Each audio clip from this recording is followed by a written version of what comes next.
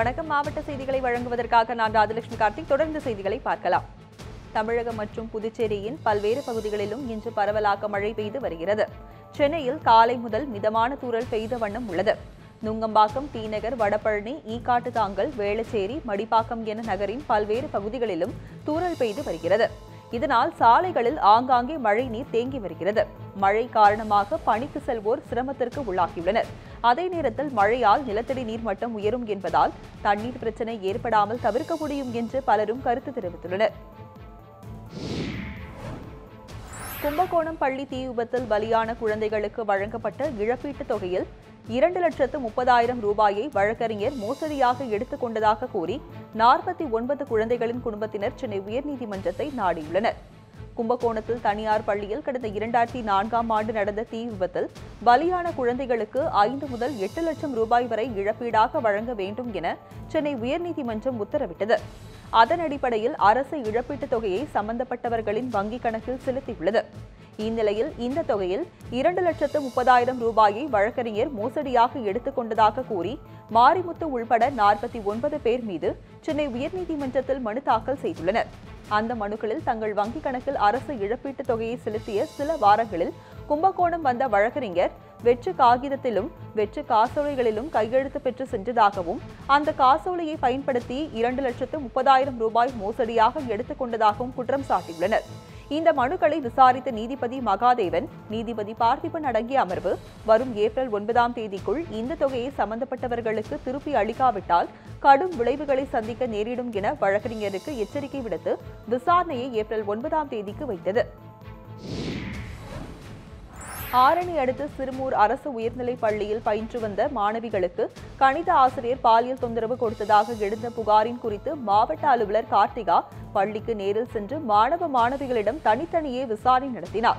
திருவண்ணாமலை மாவட்டம் ஆரணி அடுத்த சிறுமூர் கிராமத்தில் அரசு உயர்நிலைப் பள்ளி செயல்பட்டு வருகிறது. பள்ளியின் தலைமை ஆசிரியராக மாணிக்கவேல் பணியாற்றி வருகிறார். நூற்று பதினேழு மாணவ மாணவிகள் பயின்று வரும் இப்பள்ளியில் பத்தாம் வகுப்புக்கு கணிதம் மற்றும் ஆங்கில ஆசிரியராக மாற்றுத்திறனாளியான குமார் மாணவிகளிடம் பாலியல் துன்புறுத்தியதாக கூறப்படுகிறது. இது குறித்த புகாரின் பேரில் பள்ளிக்கு சென்ற மாவட்ட கல்வி அலுவலர் இது தொடர்பாக பள்ளி மாணவ மாணவிகளிடம் தனித்தனியே விசாரணை நடத்தினார். விசாரணை அறிக்கையை திருவண்ணாமலை மாவட்ட முதன்மை கல்வி அலுவலர் ஜெயக்குமாரிடம் செய்யார் கல்வி மாவட்ட அலுவலர் கார்த்திகா சமர்ப்பித்தார். அறிக்கையின் அடிப்படையில் மாவட்ட கல்வி அலுவலர் ஜெயக்குமார் பாலியல் புகாரில் சிக்கிய சிறுமூர் உயர்நிலைப் பள்ளி ஆசிரியர் குமாரை உடனடியாக பணியிடை நீக்கம் செய்து உத்தரவிட்டுள்ளார். சென்னை துறைமுகம் மற்றும் எண்ணூர் துறைமுகத்திற்கு ஏற்றுமதி இறக்குமதிக்காக செல்லும் கண்டெய்னர் லாரிகளின் வாடகையை உயர்த்தி தரக் கோரி வரும் திங்கட்கிழமை முதல் காலவரையற்ற வேலைநிறுத்தத்தில் ஈடுபட போவதாக தமிழ்நாடு அனைத்து லாரி சங்க கூட்டமைப்பினர் அறிவித்துள்ளனர். சென்னை துறைமுகத்தில் இருந்து மீஞ்சூர் வரை செயல்படும் லாரிகளின் உயர்த்தப்பட்ட வாடகையை கொடுக்காமல் குறைத்து வருவதாகவும் ஒப்பந்தத்தின்படி உயர்த்தப்பட்ட வாடகையுடன் தற்போது கூடுதலாக இருபது சதவீத வாடகை உயர்த்தி தர வேண்டும் என கோரிக்கை வைத்துள்ளனர்.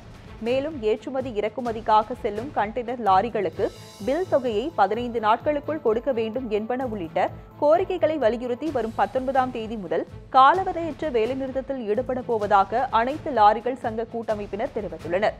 இந்த வேலை நிறுத்தத்தினால் நாள் ஒன்றுக்கு சென்னை துறைமுகத்திற்கு ஐம்பது கோடி ரூபாய் இழப்பு ஏற்படும் எனவும் உடனடியாக மத்திய மாநில அரசுகள் தலையிட்டு தங்கள் வாடகை பிரச்சினைக்கு ஒரு தீர்வு காண வேண்டும் எனவும் கோரிக்கை வைத்துள்ளனர். பொள்ளாச்சி அருகே ஆழியார் ஆற்று பாலத்தில் அரசு பேருந்துகள் நேருக்கு நேர் மோதி விபத்தில் மோனிகா என்ற பதிமூன்று வயது சிறுமி பலியானார். பொள்ளாச்சி பேருந்து நிலையத்திலிருந்து அரசு பேருந்து ஒன்று வால்பாறை நோக்கி சென்று கொண்டிருந்தது. ஆழியார் அணை ஆற்றுப்பாலம் அருகே சென்றபோது வால்பாறையில் இருந்து பொள்ளாச்சி நோக்கி சென்ற பேருந்து மீது மோதி எதிர்பாரா விதமாக மோதியது. இதில் தலையில் பலத்த காயமடைந்த வாட்டர் பால்ஸ் பகுதியைச் சேர்ந்த பதினோராம் வகுப்பு மாணவி மோனிஷா சம்பவ இடத்திலேயே பலியானார். காயமடைந்த நான்கு பேரை பொதுமக்கள் மீட்டு பொள்ளாச்சி அரசு மருத்துவமனையில் அனுப்பி வைத்தனர். இதில் கல்லூரி மாணவர் கார்த்திக் கோவை அரசு மருத்துவமனைக்கு மேல் சிகிச்சைக்காக கொண்டு செல்லப்பட்டார். விபத்து குறித்து ஆழியார் போலீசார் வழக்கு பதிவு செய்து விசாரணை மேற்கொண்டு வருகின்றனர். நாமக்கல்லில் பூட்டியிருந்த வீட்டின் கதவை உடைத்து நாற்பத்தி ஐந்து சவரம் தங்க நகைகள் மற்றும் முப்பதாயிரம் ரொக்க பணத்தை மருமணவர்கள் திருடி சென்றனர். நாமக்கல் சந்தைப்பேட்டை புதூரை சேர்ந்தவர் ரியல் எஸ்டேட் தொழிலதிபர் கரிகாலன். இவரது மகன் சஞ்சீத்துக்கு உடல்நிலை சரியில்லாத காரணத்தினால் கரிகாலனும் அவரது மனைவியும் சஞ்சீத்தை மருத்துவமனைக்கு அழைத்து சென்றுள்ளனர். சுமார் இரண்டு மணி நேரத்திற்கு பிறகு வீடு திரும்பிய மூவரும் நுழைவாயிலில் கதவு உடைக்கப்பட்டிருப்பதை கண்டு அதிர்ச்சி அடைந்தனர். உள்ளே சென்று பார்த்தபோது அறையின் உள்ளே இருந்த இரண்டு பீரோக்களும் உடைக்கப்பட்டு ரகசிய பெட்டகையில் வைக்கப்பட்டிருந்த சுமார் நாற்பத்தி ஐந்து சவரம் தங்க நகைகளும் முப்பதாயிரம் ரொக்க பணத்தையும் கொள்ளை போனது தெரிய வந்தது. இதனையடுத்து நாமக்கல் காவல்துறையினருக்கு கரிகாலன் அளித்த புகாரின் பேரில் கைரேகை நிபுணர்களுடன் சம்பவ இடத்திற்கு வந்த போலீசார் தடயங்களை சேகரித்து கொள்ளையடித்த மர்ம நபர்களை தேடி வருகின்றனர். அனைத்து லாரிகளுக்கும் மணல் வழங்க கோரி முசிறி கோட்டாட்சியர் அலுவலகத்தை மணல் லாரி உரிமையாளர்கள் முற்றுகையிட்டனர். திருச்சி மாவட்டம் ஸ்ரீ ராமசமுத்திரத்தின் அரசு மணல் குவாரியிலிருந்து அள்ளப்படும் மணல் மேய்க்கல் நாயக்கன்பட்டியில் குவிக்கப்பட்டு விற்பனை செய்யப்படுகிறது. இங்கு அரசு கட்டிட பணிகளுக்கு மட்டுமே மணல் விற்பனை செய்யப்படுவதாக கூறி மணல் லாரி உரிமையாளர்கள் சங்கத்தினர் முசிறி கோட்டாட்சியர் அலுவலகத்தை முற்றுகையிட்டனர். முன்னுரிமை அடிப்படையில் அனைத்து லாரிகளுக்கும் மணல் வழங்க வேண்டும் என அப்போது அவர்கள் கோரிக்கை விடுத்தனர். இப்பிரச்சினைக்கு தீர்வு காணாவிட்டால் இருபத்தி எட்டாம் தேதி அரசு மணல் குவாரியை முற்றுகையிட்டு போராட்டத்தில் ஈடுபடுவோம் என்றும் அவர்கள் கூறினர்.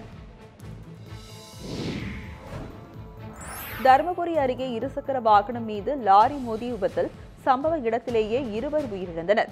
பாலக்கோடு அருகே திம்மம்பட்டியில் லாரியும் மினி லாரியும் நேருக்கு நேர் மோதின. இந்த விபத்து நடந்த சில நிமிடங்களில் பின்னால் வந்த மேலும் இரு வாகனங்கள் ஒன்றன் பின் ஒன்றாக மோதிக்கொண்டன. இதில் கட்டுப்பாட்டை இழந்த மினி லாரி முன்னால் சென்ற இருசக்கர வாகனத்தின் மீது எதிர்பாரா விதமாக மோதியது. இதில் இருசக்கர வாகனத்தில் சென்ற செங்கோடப்பட்டி வியாபாரி பெருமாள் மினி லாரியில் இருந்த கோவிந்தராஜ் ஆகியோர் அதே இடத்தில் உயிரிழந்தனர். படுகாயமடைந்த மூன்று பேர் பாலக்கோடு அரசு மருத்துவமனையில் தீவிர சிகிச்சை பிரிவில் அனுமதிக்கப்பட்டனர். விபத்தால் தருமபுரியிலிருந்து ஒசூர் செல்லும் நெடுஞ்சாலையில் ஒரு மணி நேரம் போக்குவரத்து பாதிக்கப்பட்டது. விபத்து குறித்து பாலக்கோடு போலீசார் வழக்கு பதிவு செய்து விசாரணை மேற்கொண்டு வருகின்றனர். திருவண்ணாமலை மாவட்டம் வந்தவாசி நகரில் இன்று காலை கனமழை பெய்தது. கடந்த ஒரு வார காலமாக நகரில் வெப்பம் நிலவி வந்த நிலையில் இன்று காலை பெய்த கனமழையால் வந்தவாசி மக்கள் மகிழ்ச்சி அடைந்துள்ளனர் வந்தவாசி மட்டுமல்லாது அதன் சுற்றுவட்டார பகுதிகளான அம்மையப்பட்டு பிரிதூர் மும்புனி பாதிரி உள்ளிட்ட பகுதிகளிலும் சுமார் ஒரு மணி நேரத்திற்கும் கனமழை பெய்தது. இதனால் இப்பகுதி விவசாயிகள் மகிழ்ச்சி அடைந்துள்ளனர். கோவில்பட்டியில் விதிமுறைகளை மீறி செயல்பட்ட இருபத்தி ஏழு மினி பேருந்துகள் பறிமுதல் செய்யப்பட்டன. தூத்துக்குடி மாவட்டம் கோவில்பட்டி நகர் மற்றும் சுற்றுவட்டார கிராம பகுதிகளுக்கு மினி பேருந்துகள் இயக்கப்பட்டு வருகின்றன. கோவில்பட்டி பகுதியில் முப்பத்தி ஓரு மினி பேருந்துகள் இயக்கப்பட்டு வரும் நிலையில் மினி பேருந்துகள் அரசு நிர்ணயம் செய்த கட்டணத்தினை விட அதிக கட்டணம் வசூல் செய்து வருவதாகவும் தங்களுக்கு ஒதுக்கப்பட்ட வழித்தடத்தில் முழுமையாக இயக்காமல் வழித்தடங்களை மீறி இயங்கி வருவதாகவும் புகார்கள் வந்ததை அடுத்து கோவில்பட்டி வட்டார போக்குவரத்து அலுவலர்கள் ஆய்வு மேற்கொண்டனர். இதில் விதிமுறைகளை மீறி செயல்பட்டு வந்த இருபத்தி ஏழு பேருந்துகள் பறிமுதல் செய்யப்பட்டு வட்டார போக்குவரத்து அலுவலகத்தில் நிறுத்தி வைக்கப்பட்டுள்ளன. வேளாங்கண்ணி அருகே கார் மீது மீன் ஏற்றி வந்த லாரி மோதி விபத்தில் கேரளாவை சேர்ந்த மூன்று பேர் சம்பவ இடத்திலேயே பலியாகினர். நாகை மாவட்டம் சீர்காழி அடுத்து திருமுல்லை வாசலில் இருந்து நள்ளிரவில் மீன் ஏற்றிக்கொண்டு மன்னார்குடி நோக்கி லாரி சென்று கொண்டிருந்தது. அப்போது வேளாங்கண்ணி அருகே உள்ள பறவை எனும் இடத்தில் கேரளாவில் இருந்து சொகுசு காரில் வேளாங்கண்ணிக்கு வழிபாட்டிற்கு வந்தவர்கள் மீது மீன் ஏற்றி வந்த லாரி மோதி விபத்துக்குள்ளானது. இந்த விபத்தில் கேரள மாநிலம் பாலக்காட்டு பகுதியைச் சேர்ந்த திலீப் அவரது தாய் கிருஷ்ணவேணி மற்றும் அவரது உறவினர் ஆர் சாமி ஆகிய மூவரும் சம்பவ இடத்திலேயே உயிரிழந்தனர். மேலும் உயிரிழந்த திலீப்பின் தந்தை பகவதீஸ்வரன் தங்கை தரணி ஆகிய இருவரும் படுகாயத்துடன் நாகை அரசு தலைமை மருத்துவமனையில் சிகிச்சை பெற்று வருகின்றனர். மீன் லாரி ஓட்டுநர் ரவிச்சந்திரனும் சிகிச்சைக்காக மருத்துவமனையில் அனுமதிக்கப்பட்டுள்ளார். நள்ளிரவு நடைபெற்ற இவ்விபத்து குறித்து வேளாங்கண்ணி போலீசார் வழக்கு பதிவு செய்து தீவிர விசாரணை நடத்தி வருகின்றனர்.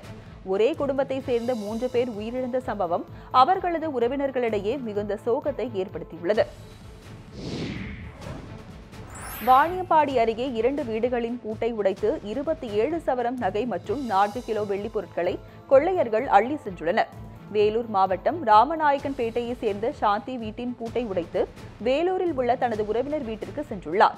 இதை நோட்டமிட்ட கொள்ளையர்கள் வீட்டின் பூட்டு உடைத்து பீரோவில் இருந்த பதினைந்து சவரம் நகைகள் நான்கு கிலோ வெள்ளி மற்றும் ஒரு லட்சம் ரொக்கத்தை கொள்ளையடித்து சென்றுவிட்டனர்.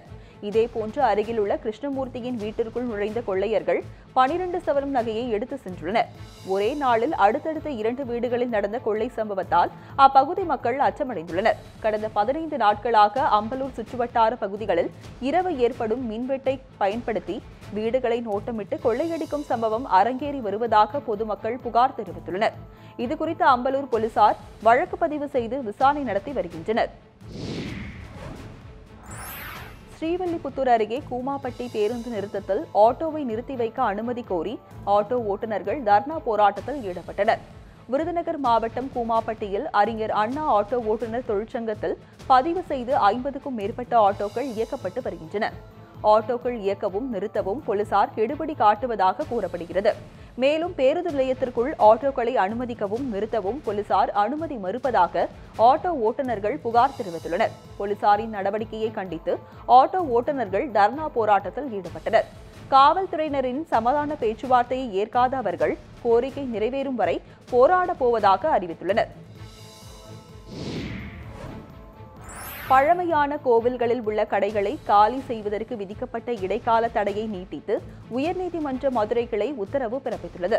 மதுரை மீனாட்சியம்மன் கோவிலில் கடந்த மாதம் நிகழ்ந்த தீ விபத்தில் வசந்தராயர் மண்டபம் கடுமையாக சேதமடைந்தது. இதையடுத்து தமிழகத்தில் முக்கிய கோவில்களில் உள்ள கடைகளை அகற்ற நடவடிக்கை எடுக்கப்பட்டு வருகிறது. இதற்கு எதிர்ப்பு தெரிவித்து ஏற்கனவே தாக்கல் செய்த மனுவை விசாரித்த உயர்நீதிமன்ற கிளை கடைகளை காலி செய்ய நடவடிக்கை எடுக்கக்கூடாது என இடைக்கால தடை விதித்து இருந்தது. இந்நிலையில் இந்த வழக்கை விசாரித்த நீதிபதி இந்து அறநிலையத்துறை இணை ஆணையர் மார்ச் இருபதாம் தேதிக்குள் பதில் மனு தாக்கல் செய்ய உத்தரவிட்டார். மேலும் அதுவரை கடைகளை காலி செய்ய விதிக்கப்பட்ட இடைக்கால தடை தொடரும் எனவும் உத்தரவிட்ட நீதிபதி வழக்கை மார்ச் இருபத்தி இரண்டாம் தேதிக்கு ஒத்திவைத்தனர். சிரியா மற்றும் இலங்கையில் இஸ்லாமியர் மீது நடைபெறும் இனப்படுகொலைகளை கண்டித்து பொள்ளாச்சியில் ஐக்கிய ஜமாத்தினர் ஆர்ப்பாட்டத்தில் ஈடுபட்டனர். சார் ஆட்சியர் அலுவலகம் முன்பு நடைபெற்ற ஆர்ப்பாட்டத்தில் அமெரிக்காவின் துணையோடு இனப்படுகொலை நடத்தி வரும் சிரியா மற்றும் இலங்கை மீது ஐக்கிய நாடு சபைகள் நடவடிக்கை எடுக்க வேண்டும் என ஆர்ப்பாட்டத்தில் வலியுறுத்தப்பட்டது.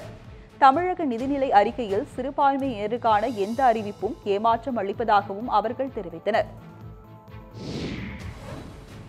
திருவண்ணாமலை மாவட்டம் ஆரணியில் நெல் வியாபாரியிடம் நூதன முறையில் ஏமாற்றி இரண்டு லட்சத்து முப்பதாயிரம் ரூபாய் கொள்ளையடித்த மர்ம நபர்கள் குறித்து போலீசார் விசாரணை நடத்தி வருகின்றனர்.